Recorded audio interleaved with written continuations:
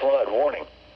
The National Weather Service in Pittsburgh has issued a flash flood warning for west central Allegheny County in southwestern Pennsylvania, northwestern Washington County in southwestern Pennsylvania, south central Beaver County in western Pennsylvania, Brooke County in northern West Virginia, Hancock County in northern West Virginia until 11:45 p.m.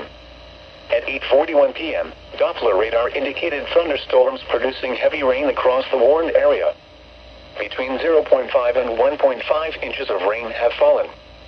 Additional rainfall amounts of 1 to 2 inches are possible in the warned area. Flash flooding is ongoing or expected to begin shortly. Hazard, flash flooding caused by thunderstorms. Source, radar. Impact, flash flooding of small creeks and streams, urban areas, highways, streets and underpasses as well as other poor drainage and low-lying areas.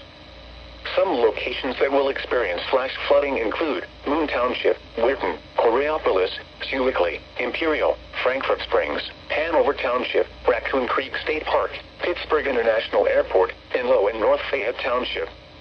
Turn around. Don't drown when encountering flooded roads. Most of flood deaths occur in vehicles.